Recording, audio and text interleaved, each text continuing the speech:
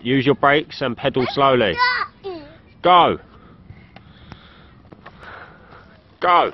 Remember, use your brakes. Way, well done. You did it.